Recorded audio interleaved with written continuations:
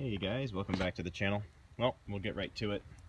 Uh, what you're looking at here are the new taillights that I installed here on the Jeep. And what you're looking at here is one of the taillights removed.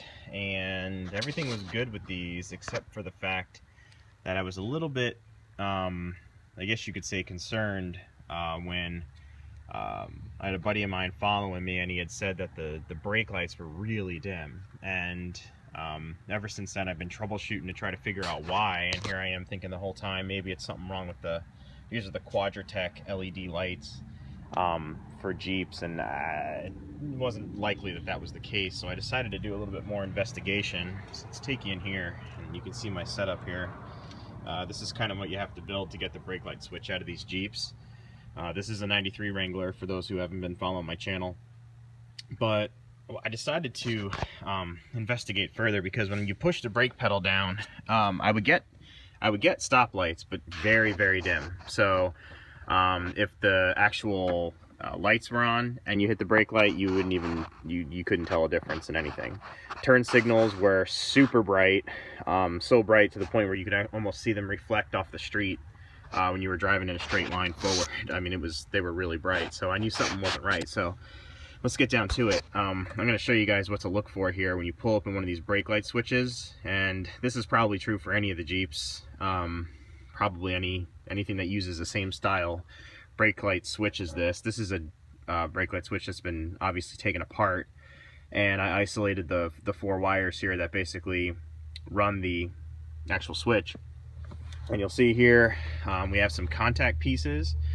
This is the primary contact plate and this plate right here, that end, which you can see is kind of chewed up, that makes connection with this end. You can see that little in the back there where I have my jumper wire attached to. See how it it would hit that right there on spring action. So uh, when the brake pedal is pushed down, it actually draws that plate closer to that connection and it makes it, and it completes the circuit, which lights up the stoplight or the brake light, whatever you want to call it. The other side, however, is where I feel I am seeing the problem. If you see right here, the side closest to my index finger here, so see how these are all shiny. Um, you'll notice the back there. Um, see how these will kind of do that shine when I bring them across the sunlight. I actually got lucky finally and I have good light today. Um, this back one here, right here where my finger is, you can really see it good there. This back plate where these two plates would basically connect, that has a significant amount of corrosion on it. And you'd never know by looking at the actual brake light switch that that was going on inside. So what I did was I created a jumper wire. Obviously this blue wire didn't come with a switch, this is just a jumper. And I connected the jumper wire from one leg over to the other leg.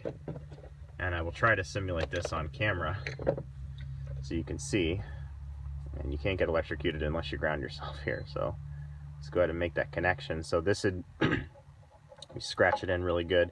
This is what basically the connection would be if the stoplight were triggered. If we look over here, bingo. So on, off,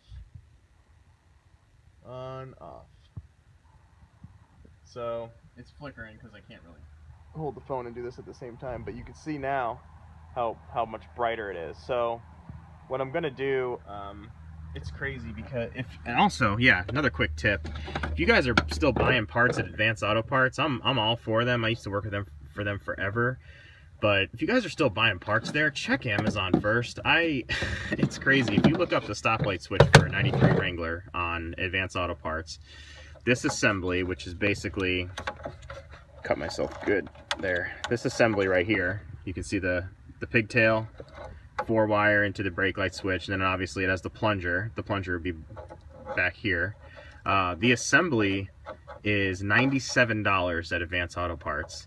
It was $27 with prime shipping uh, at Amazon. So I mean that's a, a pretty crazy uh, price jump um, that Advance is doing over there. So just go ahead and check out uh, Amazon. I mean I'm all for again supporting Advance and everything but I don't know. I just feel like that's that's that's gouging. So what I'm gonna do is I'm gonna wait for the new one to come in. Um, I'll get all this kind of cleaned up and and put back together here.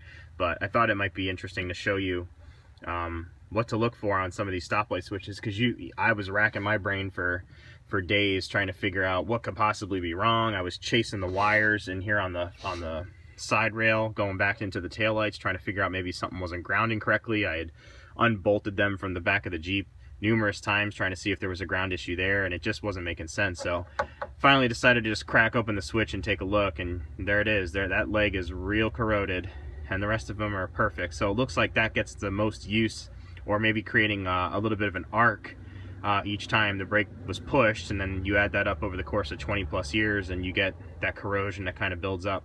Probably the same thing that happens to a battery. So that's it. So if you guys have one of these Jeeps and you got dim taillights or you just have a vehicle that has dim taillights, get, you're gonna have to do a, you're gonna have to be a gymnast to get up under here in these Jeeps. I probably should have took the seat out, but get up under there, take your time, take out your switch, open it up, which is just as simple as, this is what the case is that surrounds it. This kind of sits in here like this. You just undo these tabs on the sides, pull it open, look at the contacts and see if they're corroded. If they are, replace the switch. So, all right guys, thanks for watching. Later.